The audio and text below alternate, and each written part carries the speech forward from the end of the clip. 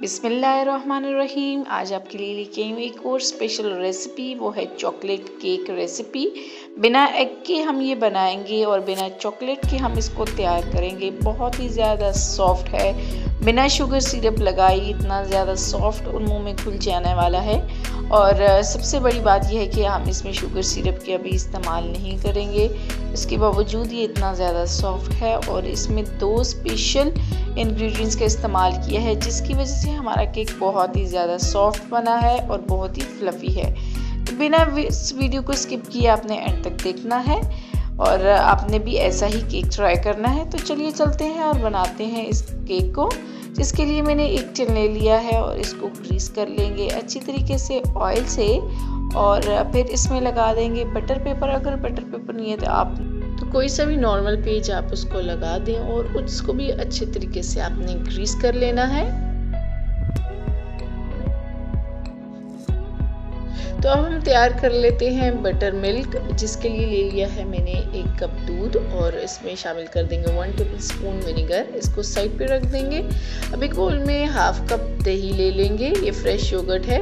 और इसमें one by three cup हमने चीनी ले ली, ये ग्रेनुलेटेड शुगर है। और इसमें डाल दिया one by three cup oil और इसको अच्छे तरीके से हम मिक्स कर लेंगे कि ये क्रीमी फॉर्म में आ जाए। आपने इसको मिक्स को चलाते हुए अच्छे तरीके से मिक्स कर लेना है कि ऑयल और ये जो दही है बिल्कुल ये क्रीमी फॉर्म में आ जाए। अब वन टीस्पून इसमें वनीला एसेंस शामिल कर देंगे और इसको भी अच्छे तरीके से मिक्स कर लेंगे।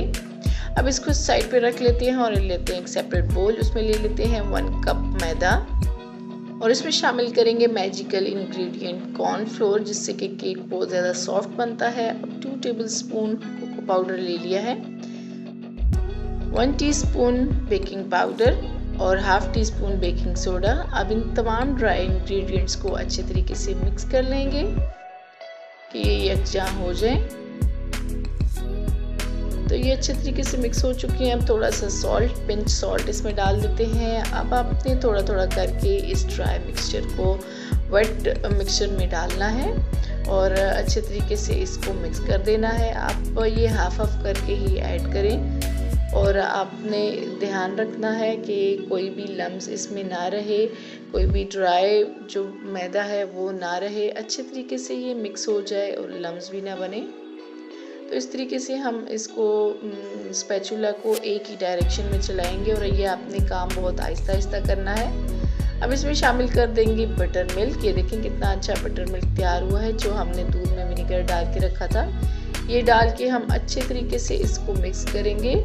इसकी कंसिस्टेंसी को एडजस्ट कर लेंगे।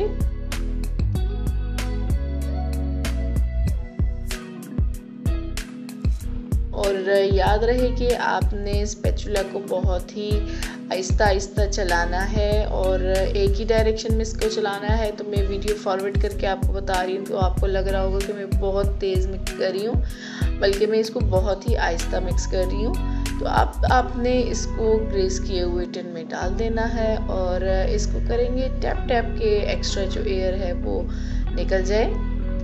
और फिर इस मैंने ओवन को प्री हीट कर लिया था। अब इसको रख देंगे प्री हीटेड ओवन में। मैंने 160 पे इसको 10 मिनट के लिए प्री हीट कर लिया था। अब इसको बेक होने के लिए रख देंगे। ये देखिए, मैं आपको बेकिंग के दौरान की वीडियो दिखा रही हूँ कि ये बेक हो रहा है। तो अब हमारा केक बेक हो चुका है। इसको मैंने 35 मिनट के लिए बेक कर दिया था। तो ये देखिए टूथपिक बिल्कुल क्लीन है है तो अब इसको हम डीमोल्ड कर लेते हैं। मैं गरम गरम ही कर रही हूँ, लेकिन आपने इसको ठंडा करके करना है।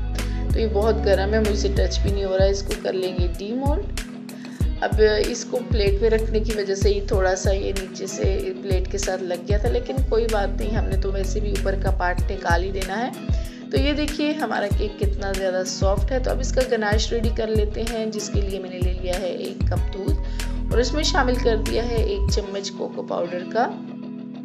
इसको अच्छे तरीके से मिक्स कर लेंगे। अब इसमें शामिल कर दें एक चम्मच बटर की, या फिर मेरे पास बटर नहीं था तो मैंने देसी घी डाल दिया। अब मैंने एक कप दूध में थोड़ा सा कॉर्नफ्लोर मिक्स कर दिया था। अब इसको हम डाल देंगे और इसको हम मिक्स कर लेंगे। आपने फ्लेम बिल्कुल लो रखनी है और इसको थिक होने तक पकाना है। ये बिल्कुल थिक हो चुका था तो हमने इसको रेस्ट पे छोड़ दिया। अब इसका ये ऊपर वाला पार्ट हम बिल्कुल निकाल लेते हैं और ये जो चॉकलेट गनाश हमने रेडी किया है, वो इसके ऊपर स्प्रेड कर लेंगे।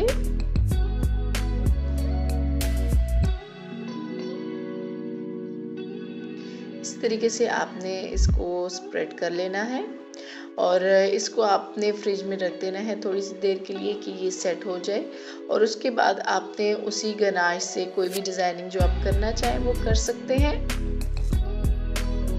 तो ये लीजिए देखिए हमारा चॉकलेट केक बिना एग के और बिना चॉकलेट के तैयार हो चुका है। बहुत ही ज़्यादा सॉफ्ट बना है ये। मैं आपको कट करके दिखाती हूँ आपको आइडिया हो रहा होगा कि कितना ज़्यादा सॉफ्ट है।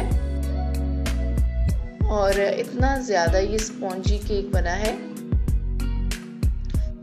चलिए चलते हैं और करते हैं इसको ट्राई और मैं आपको बताती हूँ कि इसका टेस्ट कैसा है। हम्म, बहुत ही क्लास का इसका टेस्ट आया है। आप इसको बनाएँगे तो आपको भी आइडिया होगा कि ये कितना ज़्यादा सॉफ्ट बना है, बहुत ही ज़्यादा डिलीशियस है।